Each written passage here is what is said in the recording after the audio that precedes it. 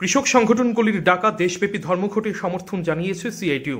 রাজ্যের সকল অংশের মানুষকে সামিল হওয়ার আহ্বান শ্রমিক নেতা সমর চক্রবর্তীর। কৃষি আইন বাতিলের দাবিতে দিল্লিতে কৃষকদের ঐতিহাসিক আন্দোলন। এই আন্দোলনে পুলিশ আক্রমণও চালিয়েছে। বিভিন্ন কৃষক সংগঠন সেই আন্দোলন থেকেই দেশব্যাপী ধর্মঘটের ডাক দিয়েছে আট ডিসেম্বর। কৃষকদের ধর্মঘটে সমর্থন জানিয়েছে পাঁচ বাম দল। বিভিন্ন ট্রেড ইউনিয়ন সমর্থন জানিয়েছে সিআইটিউ।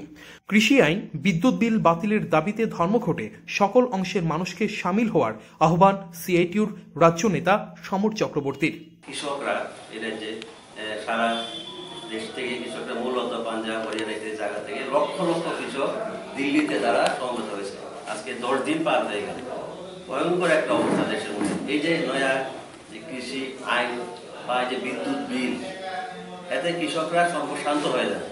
এবং শ্রমজীবী মানুষের ক্ষেত্রে শ্রমিকদের যে অধিকার, সেগুলি আজকে বাতিল হয়ে যাচ্ছে সময় সংশোধনের মধ্যে দিয়ে। আজকে কৃষকরা আজকে দশ দিন ধরে দিল্লিতে অবস্থান করছে এবং প্রচণ্ড ঠান্ডার মধ্যে এই পর্যন্ত চারজন সেখানে মারা গেছে কৃষক এবং তারা সেখানে তারা রাস্তার মধ্যে আছে, কিন্তু এখন পর্যন্ত কোনো রকম সুরাহা করছে না কেন্দ্রের মোদী সরকার। কাজে এর প্রতিবাদে সমস্ত কৃষক সংগঠনগুলি, কৃষক সংগঠন সমিতি তারা আগামী আটই ডিসেম্বর দেশ জুড়ে তারা ধর্মঘটের ডাক দিয়েছে, আমাদের সমস্ত কেন্দ্রীয় ট্রেড ইউনিয়নগুলি সিআইটু সহ সমস্ত দশটি যে কেন্দ্রীয় ট্রেড ইউনিয়ন এবং অন্যান্য সংগঠন, তারাও সেই ধর্মঘটের সমর্থন করেছে। আমাদের এই রাজ্যেও আমরা আহ্বান করছি সমস্ত গণতান্ত্রিক দেশপ্রেমিক মানুষ যে আজকে এই যে সর্বনাশ করে চলছে কেন্দ্রের মোদী সরকার, কৃষকদের, শ্রমিকদের, সমস্ত অংশের মানুষের।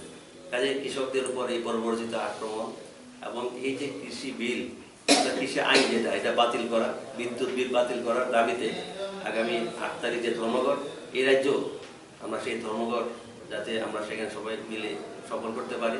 স্কুল, কলেজ, অফিস, আদালত, পরিবহন বাজার হাট সব কিছু এই রাজ্যে ওদিন যাতে বন্ধ থাকে, এই আহ্বান আমরা রাখছি আপনাদের মাধ্যমে।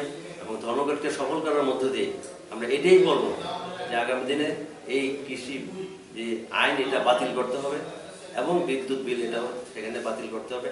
এবং কৃষকদের, তাদের যে দাবি, যে দাবিতে তারা আজকে দিল্লিতে লক্ষ লক্ষ কৃষক অবস্থান করছে, ঐতিহাসিক বলা যায় ঘটনা। স্বাধীনতার এই সময়টার মধ্যে একটা তিয়াত্তর, চুয়াত্তর বছর এই ধরনের ঘটনা কেউ দেখেনি এই দেশের মধ্যে। আজকে কৃষকদের সেই আন্দোলনের মধ্যে সমর্থন আমরা জানি, সেই ধর্মঘটকে সফল করার জন্য আপনাদের মাধ্যমে আমরা এই আহ্বান রাখছি। ত্রিপুরার সমস্ত অংশের রিপোর্ট, চ্যানেল তিন রাত